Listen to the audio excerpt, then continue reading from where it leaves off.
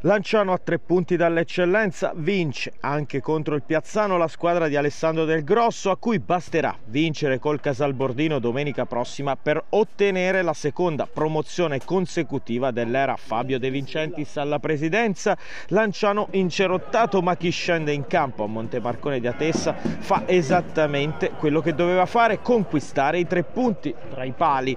C'è Mattia Di Vincenzo con gli under, Boccaneri e Trisi esterni bassi metà campo stringe i denti Petrone mentre De Santis viene sistemato ancora come mezzala dopo l'ottima prestazione di Coppa. Si ripeterà su alti livelli anche contro il Piazzano. In avanti Sardella si sacrifica e fa reparto con Di Gennaro e Alex Cianci. Mancano gli attaccanti e la metà campo. Nessun problema per il Lanciano per superare la difesa biancorossa. Ci penserà la difesa ad andare in rete con il Jolly De Santis Santis ed il centrale difensivo Alessio Natalini. Sfida non certo agevole per i frentani al cui cospetto c'è un Piazzano che resiste un'ora e passa ma nella ripresa deve subire il Lanciano che dilagherà.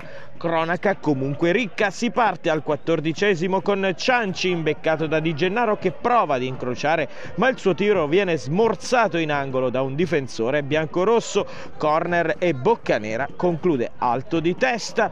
Petrone resiste in campo poco più di un quarto d'ora al diciassettesimo al suo posto del grosso butta nella mischia Gian Cristofano nel ruolo di mezzara. Un centrocampo quello rossonero del tutto nuovo. Sardella prende in mano il fronte offensivo ventesimo l'esterno rossonero mette in area un pallone teso per Cianci che manca di un soffio l'appuntamento con il gol.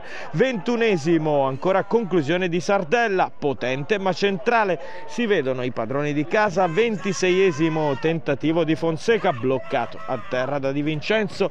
32esimo ancora Piazzano con un sinistro alto di Bosco su assist di Fonseca dalla corsia di destra. L'occasione più nitida per la capolista ce l'ha al 44esimo Piero Scudieri che manda clamorosamente al lato di testa da pochi passi la palla del possibile vantaggio la ripresa settimo minuto sinistro a volo su seconda palla di De Santis all'angolino e il vantaggio mette in discesa la contesa per i frentani.